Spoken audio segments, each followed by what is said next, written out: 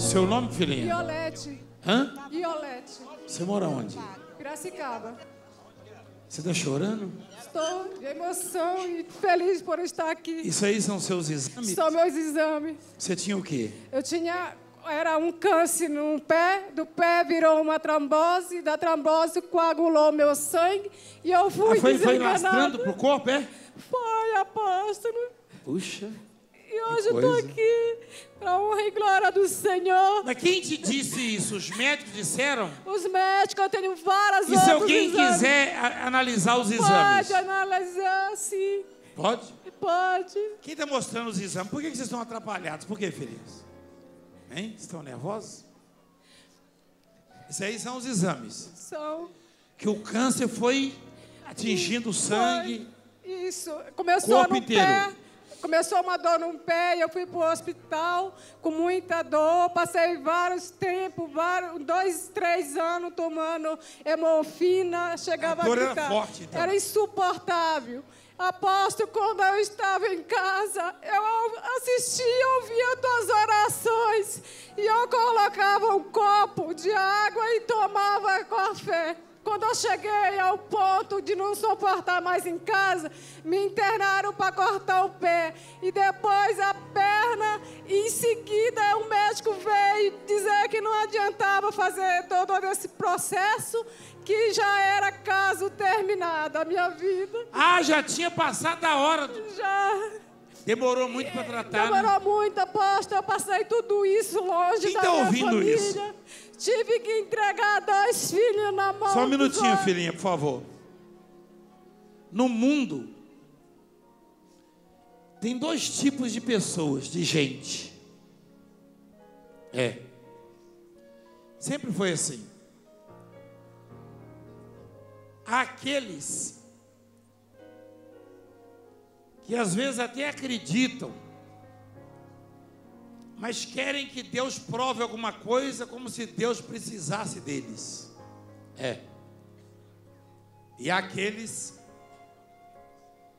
que não precisam de muita coisa para acreditarem. Em alguns casos, Jesus tinha que ressuscitar um morto para provar. Não que ele fizesse para provar, mas só acreditava depois de ver um milagre, um leproso purificado. Como muitos aqui.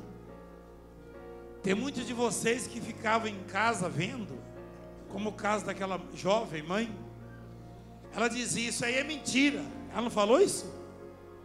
Até ela precisar do milagre, até ela descobrir que era estéreo e apelou para o Deus daqui, concebeu e deu a luz.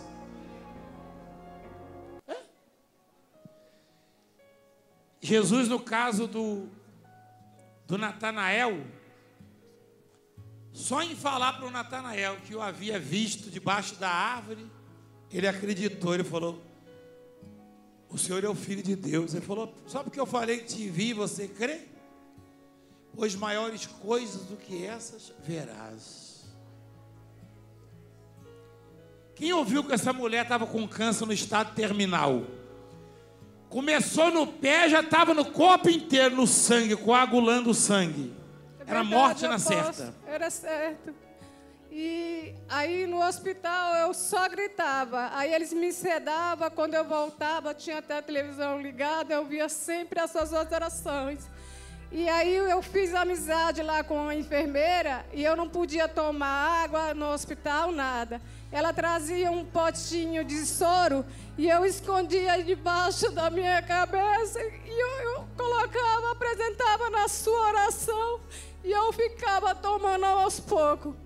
E um certo dia o, o médico veio e falou que ia me pôr em, tipo, em coma por causa da dor e eu atrapalhar. induzido. Isso.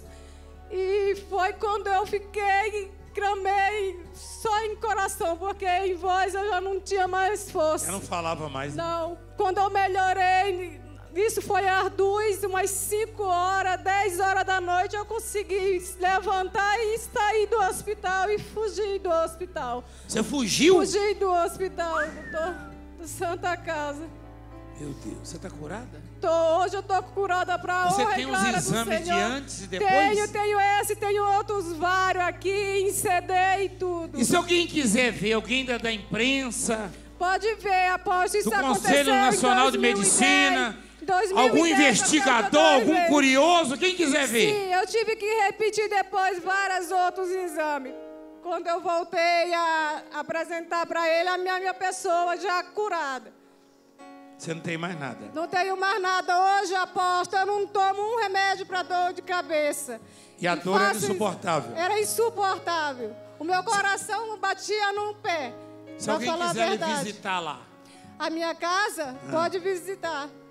alguém da imprensa, Pode, aposto. tá? É porque para incrementar o programa, esses programas de domingo assim, né? Sei. Seria bom botar um milagre desse. Alguém que estava com câncer no estado terminal e agora está curado. aposto. É Isso. verdade? É verdade, aposto. Dê glória a Deus, filhinha. Glória vem cá dar um abraço no apóstolo, vem cá. É. Sou um milagre